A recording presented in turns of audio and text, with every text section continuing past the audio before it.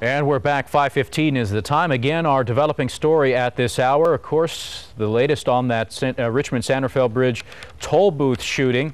The gentleman on the right there, Nathaniel Burris, 46-year-old, he was the chief suspect in this shooting, which happened yesterday at about 6 o'clock or so. Police say he drove up to the toll plaza, got out after parking in the parking lot, shot a man in the parking lot, then walked up to one of the toll booths and shot the toll taker inside. An all points bulletin was put out overnight. They thought he might be on Interstate 80 headed towards Sacramento, and in fact, he was on Interstate 80. Early this morning at about 3 o'clock, they discovered he had gone well past Sacramento up into the Sierra and was arrested in the town of, uh, the town of, and let me look up the latest here, the town of, uh, well, not Truckee, uh, let me get it here. Baxter. Yeah, Baxter, that's what it is. He was arrested in Baxter by Truckee police officers and the CHP. Uh, and they're uh, apparently at this point holding him in Placer County Jail. He's going to be questioned by Richmond police officers uh, later on this morning. They're going to drive up there and bring him back. But it obviously caused a huge backup during the commute yesterday, 6 o'clock, right in the heart of the commute. But they say he is in custody and they're going to be questioning him. At this point, the relationship between him and the victims sort of sort of turns out he was uh, apparently a, a boyfriend of the toll taker uh, had been at one point maybe even living with her at, at, a time, and so this might be some sort of domestic dispute. No, uh, no relationship uh, known yet between him, the chief suspect, and the gentleman that was shot in the parking lot. On the phone with us this morning, we do have uh, Trent Cross joining us this morning, actually live with the very latest on this. Good morning, uh, Good morning. Officer, Officer Cross. Thank you so much for joining us today. No problem. So, uh, well, quite a series of events here overnight. Walk us through now what happened at 6 o'clock all the way through about 3 a.m. this morning. Yeah, last night at approximately 6 o'clock, we received a call of shots fired at the San Rafael Richmond Toll Plaza.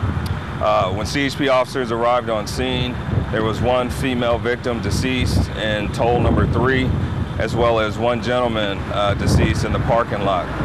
Uh, we believe that the suspect initially shot the gentleman in the truck first. He ran on foot over to toll plaza number three and shot the female victim multiple times uh, with a shotgun. And then he ran back to his work vehicle and fled the scene in a westbound direction. And he was heading on uh, 80 westbound towards Sacramento at that time? Yes, at approximately uh, 311 this morning, a California Highway Patrol officer out of Gold Run spotted the suspect vehicle. And so due to the circumstances surrounding the crime, the officer waited for assistance and westbound 80 east of Baxter is when the officer initiated a traffic stop and the suspect pulled to the right shoulder and was arrested without an incident. And so he's in uh, Placer County Jail right now? Yes, he's in Placer County Jail right now, uh, waiting for Richmond police detectives to interview him. And then at some point, he'll be brought back to Contra Costa County to be held to answer for his actions. Okay.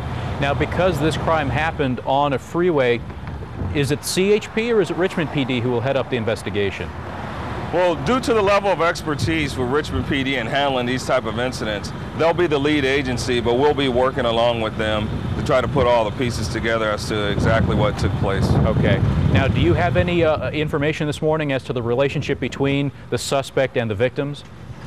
Yeah, it appears as though uh, they used to date in the past, and so this was some type of domestic violence related issue. Uh, however, the scene here yesterday was very horrific, yeah. and it's very tragic that these two individuals had to die in this kind of fashion. Wow. So what happens from this point? Okay, so you said Richmond detectives will go up and talk to him. When can we expect him to be brought back to the Bay Area to face charges? Uh, right now, that's going to be unknown but I anticipate it may be sometime today, maybe later in the day.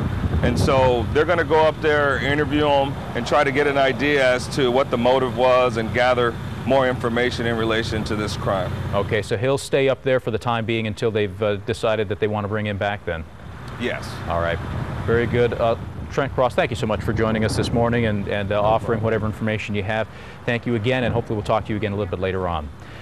All right, 519 is the time. Let's uh, change the topic here and talk about the weather. We've got some things to uh, chat about. Going to be cool again today along the coast. Uh, Evelyn Taft following all that. Morning, Ev. Good morning, James. We're looking at cool temperatures indeed for the next few days, especially around the coast and bay.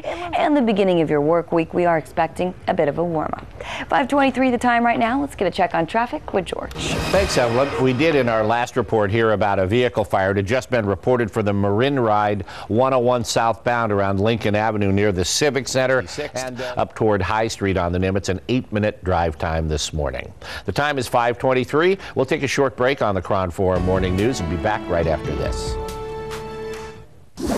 And we're back. 526 is the time, and this just into the KRON 4 newsroom. Organizers say the Michael Jackson tribute concert in Vienna now will be set on September 26th. So they have a date for that now in Vienna, September 26th. And just looking at the wires this morning, another new bit of information. You know, investigators have been looking into Dr. Conrad Murray, Michael Jackson's private physician. They raided a pharmacy near his Las Vegas offices, searched the records, and have been able to confirm, apparently, uh, there is evidence there showing that Dr. Murray legally purchased that uh, potent anesthetic propofol for use with Michael Jackson. If that's the case, then he did uh, commit some crimes here, bringing that into the state of California. He was not licensed to administer or prescribe medications here in California.